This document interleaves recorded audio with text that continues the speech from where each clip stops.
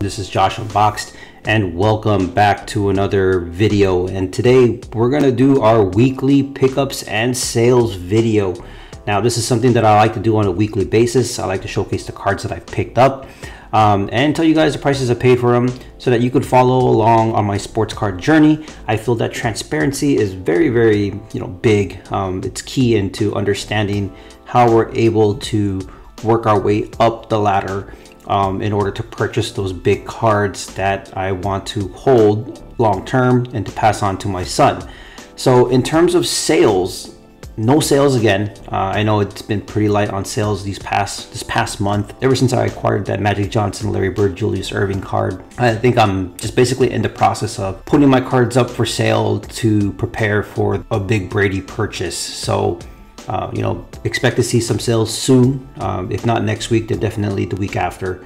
But you know, with the lack of sales, you know, I try to make up for it in terms of pickups, and I got quite a few things here. So we're just gonna go ahead and get started. If you've been watching my videos recently, um, then you saw that I recently took a trip to, trip to Games and Cards um, out here in Eagle Rock, California, and I ended up picking up these three Wayne Gretzky cards. These all come from the 1984 O-Pee-Chee set. This is number 380 uh, for the scoring leaders, PSA 9.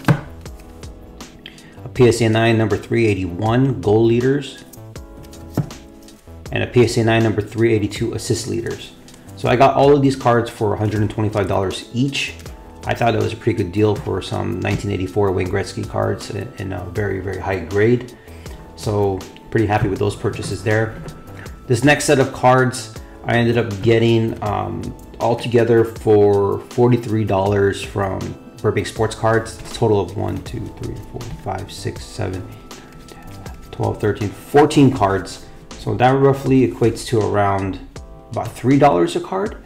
So first card here, this is a 1990 Topps Frank Thomas rookie card. Uh, this is not the no name on front. Um, that one is a, the error card, but this is just the regular base card. I thought it was just pretty cool to have a Frank Thomas rookie card in the collection. Um, you know, really no plans to get this graded. It's just something cool to own of a great baseball player.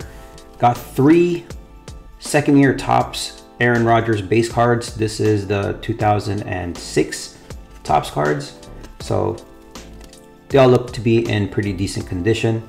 Got them all three together with the lot. Got a 2014 Topps Chrome Philip Rivers Refractor. A pretty affordable price for it. Like I said, all these cards roughly equate to around $3 per card. You know, some of them were worth more, some of them were, were priced less. But you know, overall, if you do the average, it's about $3 per card. Got a 1995 metal silver spotlight Reggie Miller. You know, these cards are just pretty cool. Reggie Miller, one of the greatest three-point shooters of all time. Pretty cool parallel. Used to own these cards as a kid. So I really do love these cards. The next one is uh, Stadium Club rookie Paul Pierce. Got it just because, you know, I just thought it'd be cool just to have a rookie card of his. Um, got a 1997 Shaquille O'Neal or 1997 Upper Deck Shaquille O'Neal base card. This was priced at a dollar. Um, just a cool base card of Shaquille O'Neal. I really love this 97 Upper Deck set um, because the photo that they use, they have a little description of that actual game. You know, they have this whole game dated kind of thing. But these do come with um, what's called a game dated parallel, which is all foil. So if you're if you ever run into those, I highly suggest picking them up because they're very very rare and you know they're very very cool. Got this card to add to my Penny Hardaway PC.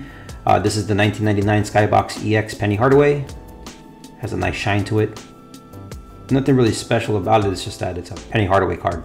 Um, used to collect him heavy as a kid. Got a 1993 first year Phenoms Fleer Penny Hardaway. This is an insert card. Off center left to right, but you know, pretty cool insert card back in the day.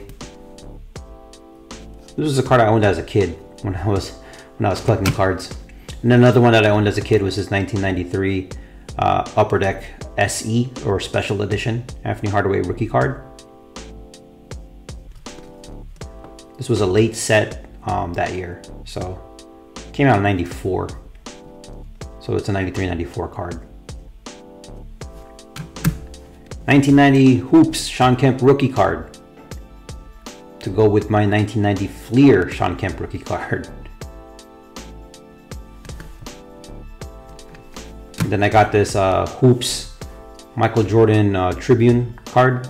It's like a kind of like a newspaper type of design depicting Jordan's first win uh, for his first title with the Bulls.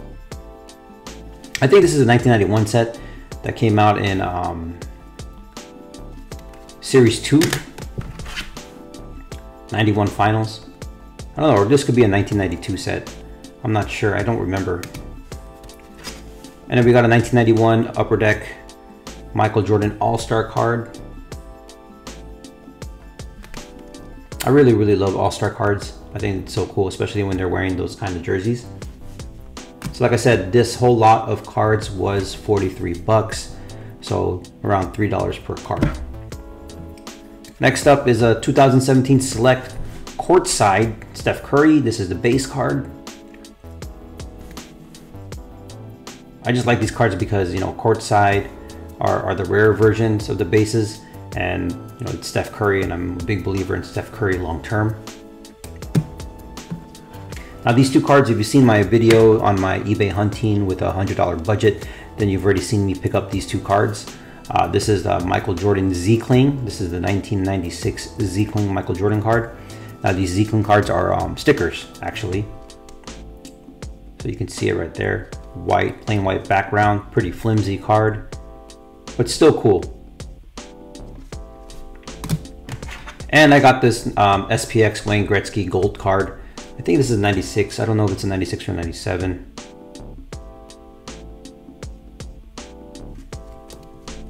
Pretty cool for around 15 bucks. So these two were 15 each. Check out the video if you haven't seen it yet. It shows you how, how, how I came to the decision of buying it. Um, and then this one is a 1992 USA basketball um, team card. Uh, this came from the 1992 Skybox Team USA set.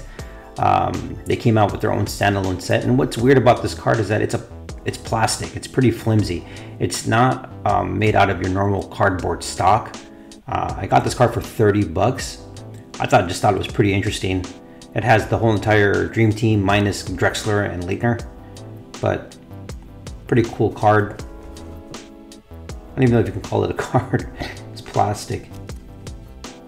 So, and the last pickup is a 1999 Skybox EX Generation EX Kobe Bryant. This is an insert card. This is graded a PSA 8.5. Got it for a pretty good price too, uh, probably less than 80 bucks for a 8.5 graded Kobe Bryant card on an insert. Has a nice shine to it. So yeah, that's pretty much it. Nothing too wild, nothing too crazy. You know, I think the last couple of pickups that I've had have showcased some pretty pricey cards, but I think all these cards are somewhat affordable. Um, like I said, a lot of this time it's it's building the process or going through the process of working your way back up again, especially after all those sales that I did to get the Magic, Bird, and Erving card. Now I have to start the process again of rebuilding, and this is a good start. You know, some of these cards I bought just for the um, sure sake that I really like them, uh, especially some of the cards I picked up from Burbank. Some cards definitely have some opportunity with them, like, like this uh, plastic card. I think this card has a lot of opportunity in it, a lot of value to be had there. This Jordan Z-Cling, think I still think this card has value. The Curry card is something to hold. Um, there are some surface issues with this card, so I'm just gonna most likely hang on to this card uh, for my PC. A couple of Jordan cards that are always good to buy. Shawn Kemp rookie, you know, these Penny Hardaways are all about staying to the PC. A nice Shaq for the PC. Paul Pierce rookie card. You know, this Miller card really has no value. It's just something cool to own. And then obviously these cards I plan on trying to move are actually these three. Uh, just waiting to see how the market goes during football season. Philip Rivers is already retired, so. But these uh, Aaron Rodgers cards might have some short-term value there. And this Frank Thomas card is just a card to own. uh, keeping the PC. Uh, pretty cool to have Frank Thomas rookie card. And you obviously see the Gretzky's that are pretty cool in the PC, and this Kobe goes to the PC as well. So um, hopefully you guys enjoyed. If you guys did, go ahead and hit the thumbs up button. If you haven't yet, please consider subscribing. I like doing these videos on a weekly basis. I also do videos on a daily basis if you're new to this channel. Um, make sure you hit the subscribe button, that bell notification to stay up to date to all the things that I post, um, whether it's talking about particular news, cards, plays, strategies, you know, a lot of things that just come off the top of my head. Um, I, I, just feel like it's make they just make for great discussion points. So um, with that being said, thank you guys for watching and I'll see you guys in the next video later.